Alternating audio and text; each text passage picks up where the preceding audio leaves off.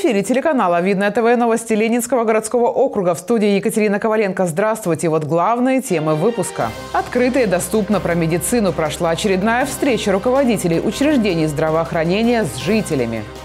Возникают очень актуальные вопросы, которые мы можем решить сразу здесь, на месте. В Видновскую районную клиническую больницу поступило новое высокотехнологическое медоборудование. Сейчас практически, наверное, ну, процентов 80-85 операций мы его подключаем, иногда не на все этапы, на самые сложные, самые важные. Иногда полностью операция выполняется под микроскопом. Самый сильный полицейский Андрей Ильин стал первым на чемпионате Москвы и области по жиму лежа. 240 мы установили, нужно побить теперь свой рекорд 260, 280, ну и идти выше 300. В историко-культурном центре прошла очередная встреча руководителей учреждений здравоохранения муниципалитета с населением. Жители задали свои вопросы врачам и получили ответы. В муниципалитете встречи жителей с медицинскими работниками проходят ежемесячно уже на протяжении двух лет. Такой открытый диалог помогает врачам своевременно разобраться в проблемах, волнующих население. Возникают очень актуальные вопросы, которые мы можем решить сразу здесь на месте. Некоторые а, отсроченные мы их берем в работу и далее а, связываемся с заявителями, тоже решаем все вопросы. Данные встречи очень нужны как для жителей, так и для нас, потому что на данной площадке мы говорим о нововведениях, в учреждении здравоохранения нашего городского округа. В ходе встречи руководителям учреждения здравоохранения были заданы вопросы, касающиеся диспансеризации, записи к узким специалистам и получения льготных лекарств. Самый большой вопрос упустила выписку лекарства. Я сахарница. Нельзя день в день надо выписывать. Раньше у меня закончились лекарства. Я не знаю почему. Нет, придете тогда, когда у вас но мы же и так один раз получаем. Нет, лекарственные как средства выписываются на, а, в зависимости на от препаратов. И вы можете выбрать удобное для вас время и дату. Кроме того, для информации, я еще раз повторю, у нас есть удобная для пациентов услуга медицинская – это получение, выписка льготных лекарственных препаратов путем телемедицинских консультаций. Здесь есть и главные врачи, и руководители поликлиник, и всех наших медицинских учреждений. Вопросов очень много. И эти встречи снимают даже некоторые такие вопросы болезненные у людей. Льготное лекарство, дневной стационар, прием врачей куда обратиться, за какими-то льготами. Заместитель главы администрации Ленинского городского округа Татьяна Квасникова подробно рассказала присутствующим о ремонте медицинских учреждений на территории округа и открытии новых. Эти встречи нужны не только вот тем, кто сидит сейчас вот по ту и по эту сторону, но и тем, кто увидит нас по телевизору и не знал еще, узнает о том, что такое возможно. На многие вопросы жители смогли получить ответы в ходе встречи. Также полученные обращения были взяты на контроль и будут обработаны в ближайшее время. Наталья Буслаева, Данила Свидерский, Ольга Садовская, Видное ТВ. Инновационное медицинское оборудование поступило в Видновскую районную клиническую больницу. Теперь нейрохирурги могут использовать в работе современный операционный микроскоп, который позволяет выполнять все необходимые манипуляции на более высоком уровне. Какие еще плюсы отметили врачи, узнала наш корреспондент Галина Житкова. Любаша, отсос! Нейрохирургия – одна из самых сложных отраслей медицины, что занимается диагностикой и лечением заболеваний нервной системы и ее структур. Высококвалифицированные врачи не только проводят операции на головном мозге, но и приходят на помощь в случае боли в спине, невралгии тройничного нерва и при травмах позвоночника. Нейрохирургом я работаю уже 4 года. Мы выполняем такие операции, как эм, э, микродискектомия, Э, стенозы позвоночного канала, удаление опухолей, гемангиомы. Вот уже более полугода стационар Видновской районной клинической больницы работает в привычном доковидном режиме. Нейрохирурги проводят операции разных уровней сложности. При необходимости пациентов направляют в центральное отделение маньяки, но с появлением современного микроскопа возможностей у врачей стало больше. Сейчас практически, наверное, ну, процентов 80-85 операций мы его подключаем, иногда не на все этапы, на самые сложные, самые важные. Иногда полностью операция выполняется под микроскопом.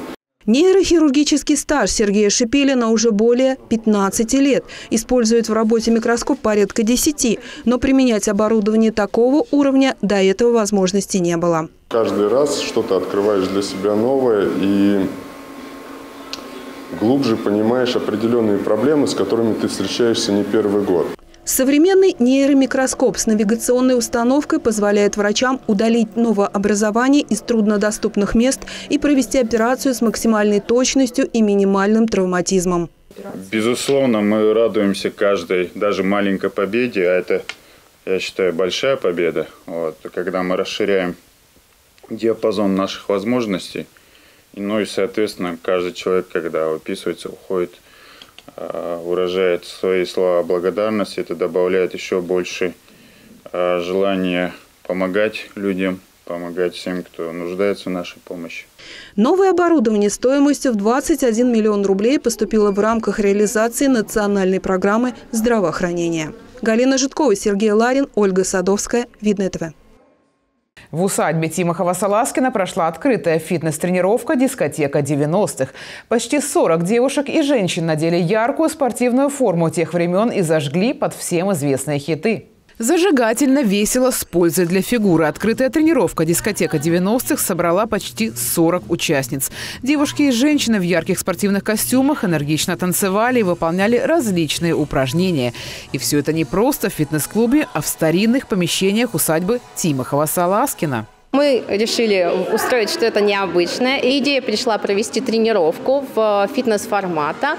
А почему 90-е? Потому что это то, что объединяет, то, что восполняется в памяти такими теплыми э, моментами жизни. Тренировка необычна не только местом проведения, но и спортивной начинкой. Это сразу и аэробика, и силовая часть, и лихие танцы. Такой подход позволяет многократно усилить эффект, что в преддверии нового весенне-летнего сезона, конечно же, очень актуально. Мы добавили драйвовую музыку, танцевальные движения. Мы поработали хорошо руками, поработали ногами. Танцевальные движения нам позволили добавить дополнительные тоже лимфатической нагрузки, а, так как у нас они были такие броские, яркие, динамичные, что помогает также худеть и выводить жидкость быстрее, с позитивом. За полтора часа интенсивной работы спортсменки потратили тысячи калорий и зарядились отличным настроением. Кстати, многие участницы были одеты в костюмы 90-х, что добавило еще драйва и азарта. Ни, ни минуты не сомневалась, что да, я должна здесь быть. Вот, костюм, конечно же, безусловно, старалась подобрать в этом стиле.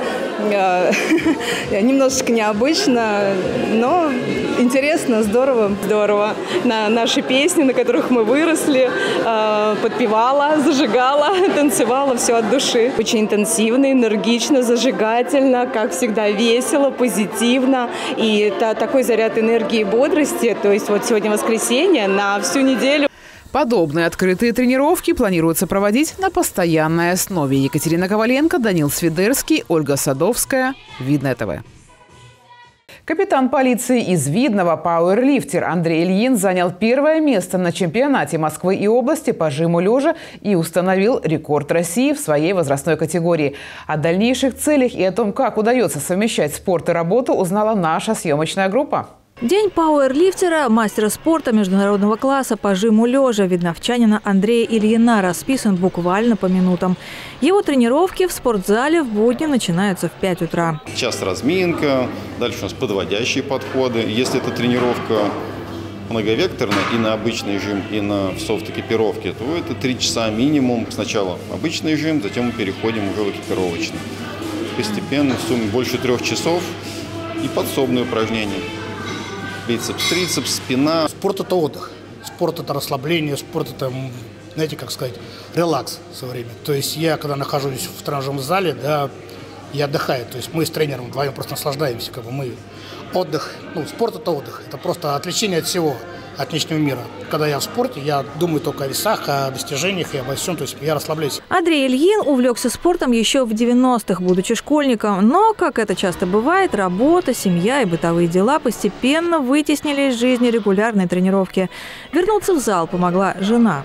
Она говорит, давай бросай все остальное, надо заниматься спортом. И в одночасье все бросил, ушел в спорт. Со 140 я похудел до 105 килограмм. Даже дошел, где-то было до 99 выступал на чемпионатах. Вошел во вкус, начал заниматься дальше по бодибилдингам. Затем Андрей Ильин увлекся пауэрлифтингом и с 2015 года стал регулярно участвовать в соревнованиях уже по этой дисциплине. 11 февраля он вместе с тренером занял первое место на чемпионате Москвы и области и установил рекорд России по жиму лежа – 240 килограммов в экипировке среди ветеранов, тех, кому от 45 до 49 лет. Ехали, конечно, мы получать элиту России.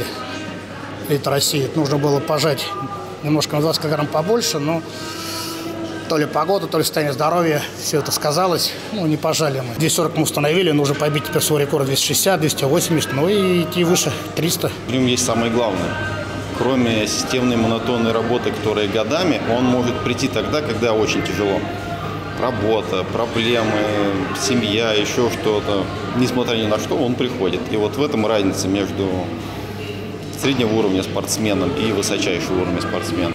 Ну а в 9 утра Андрей Ильин уже на своем рабочем месте. Инспектором группы дорожного надзора ГИБДД наш герой трудится уже более 15 лет. Интересная работа, скучно не бывает. Каждый день что-то разное. Нет такого, что рутина, допустим, да, одно и то же, допустим, там бумаги, то-то, еще что-то. То есть ну, у нас либо обращения, выезды, много выезжаем мы, смотрим по обращениям граждан, много смотрим, где необходимо изменить организацию дорожного движения. В рабочем кабинете капитана полиции также все напоминает о его спортивном настоящем.